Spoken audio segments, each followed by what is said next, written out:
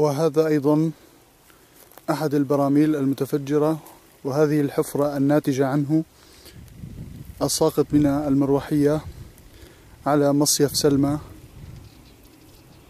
بتاريخ 30 3 2013